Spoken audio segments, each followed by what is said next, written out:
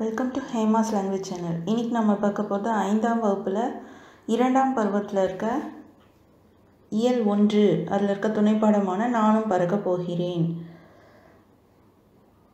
என்னம்மா செய்கிறாய்? அப்படின்ட்டு அப்பா தான் பொண்ணுக்கிட்ட கேட்குறாரு. அப்பா நான் பறக்க போகிறேன். அப்பா சொல்கிறாரு இப்படியெல்லாம் பறக்க முடியாது அமுதா. அதுக்கு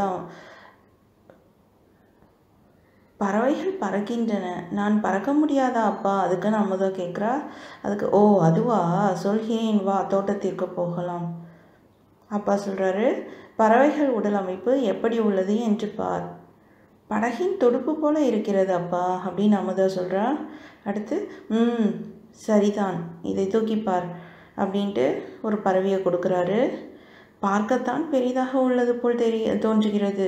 ஆனால் எடை குறைவாக இருக்கிறதே அப்படின்னு அமுதா சொல்கிறா ஆமாம் பறவையின் இறகுகளிலும் எலும்புகளிலும் காற்று பைகள் உள்ளன.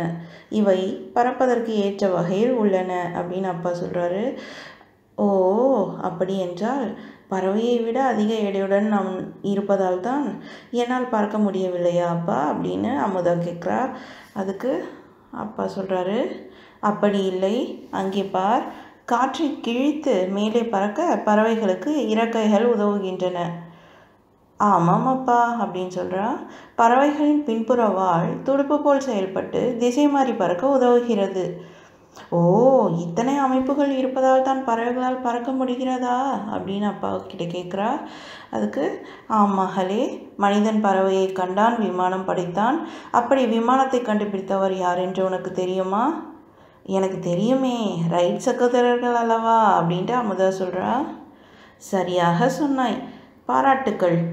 அவர்களும் உன்னை போல் பறக்க ஆசைப்பட்டவர்கள் தான் அதற்காக அவர்கள் என்ன முயற்சி செய்தார்கள் அப்படின்னு அமுதா கேட்குறா. சிறு வயதிலேயே இருவரும் பறவைகளை போ பார்ப்பது பல வகைகளில் பட்டங்கள் செய்து பறக்க விடுவது என ஆர்வமாக இருந்தனர். அருமை. இயற்கையை பார்த்து வியப்பது விளையாடுவது இவற்றிலிருந்து கூட நம்மால் நிறைய கற்றுக்கொள்ள முடியுமா? அப்படின்னு அமுதா அப்பா கிட்ட கேட்குறா. ஆம் ரைட் சகோதரர்கள் தாங்கள் பறப்பதற்காக பல முறை முயற்சி செய்தனர். அனைத்திலும் தோல்வியே. ஆனாலும் தோல்வியிலிருந்து நிறைய கற்றுக்கொண்டார்கள். ஓட்டப்பந்தயத்தில் தோற்றால் கூட சிலர் அழுகிறார்களே அப்பா. ஆம் நாம் எதிலும் தொடர்ந்து முயற்சி செய்தால் கட்டாயம் ஒரு நாள் வெற்றி பெறலாம். அப்போ ரைட் சகோதரர்கள் இதில் எப்படி வெற்றி பெற்றார்கள் அப்படின்னு அமுதா கேட்குறா அவர்கள் செய்த முயற்சிகளில் உள்ள குறைகளை சரி சரி செய்து கொண்டே வந்தார்கள். ஒரு நாள் பறப்பதற்கான கருவியை கண்டுபிடித்து விட்டார்கள். அது எப்போது நடந்தது? ஆயிரத்தி தொள்ளாயிரத்தி மூணாம் ஆண்டு டிசம்பர் பதினேழு அன்று பன்னிரண்டு நொடிகள் ரைட் சகோதரர்களில் ஒருவர் தாங்கள் சொந்தமாக உருவாக்கிய விமானத்தில் உயர்ந்த பகுதியிலிருந்து சிறிது தூரம் பறந்து அனைவரையும் வியப்பில் ஆழ்த்தினார். நானும் கூட அப்படி ஒரு நாள் பறந்து காட்டுவேன். மேலும் சாதனைகள் படைப்பேன் அப்பா.